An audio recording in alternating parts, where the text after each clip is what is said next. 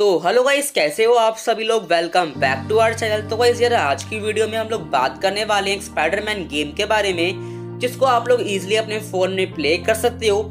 साथ ही में आपको इस गेम में डिफरेंट तरह के गेमिंग फीचर्स भी देखने को मिलते हैं। तो गाइस, अगर आप ये गेम अपने फ़ोन में खेलना चाहते हो तो वीडियो को एंड तक ज़रूर से देखना। अगर आपको हमारी आज की वीडियो अच्छी लगे तो यार लाइक कर देना। अगर आप चैनल पर नए हो सब्सक्राइब भी ज़रूर से करना। तो चलिए वीडियो को स्टार्ट करते हैं। तो गाइस जो हमारी गेम आती है, वो आती है स्पाइडर रोब सुपर हीरो गेम ऑफलाइन रहेगा और गेम का साइज़ आपको सिर्फ़ 50 एम देखने को मिलता है। तो गाइस आपको एक कम साइज़ में काफ़ी अच्छा स्पाइडरमैन गेम देखने को मिलता है।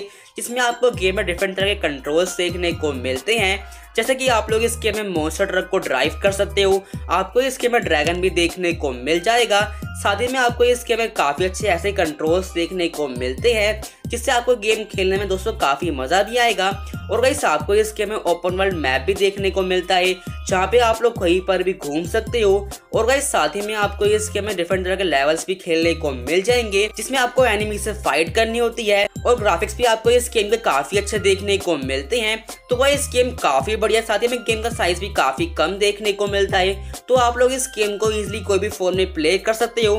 तो गेम को ट्राई एक बार ही ज़रूर से करना गेम का लिंक डिस्क्रिप्शन में है। तो गाइस ये थी हमारी आज की वीडियो अगर आपको हमारी आज की वीडियो अच्छी लगी हो तो यार लाइक कर देना।